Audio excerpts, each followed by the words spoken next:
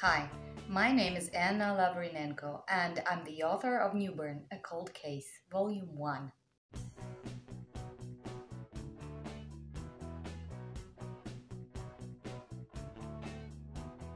I've been working on my fictional universe for over 10 years.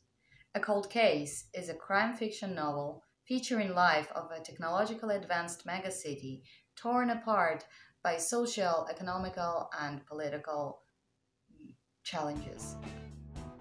It also features the thrill, the chase, futuristic science and experiment wrought in the force, as well as love, hate, trust, and betrayal.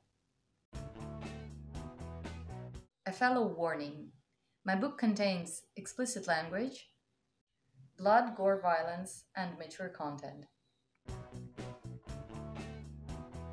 We dive into the world of Newbourne City and see the story unfold through the perspective of three different characters Detective Frank Harris, his daughter Kelly, and his colleague Miles Smart.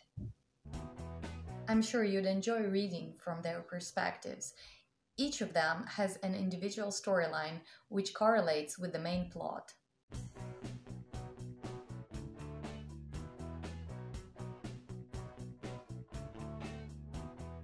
I'm an English teacher.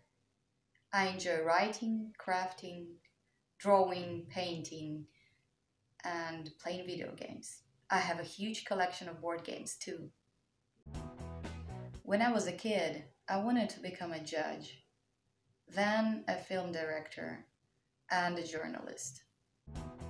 Quite a complicated person. If you want to know more about me, just go ahead and read my book.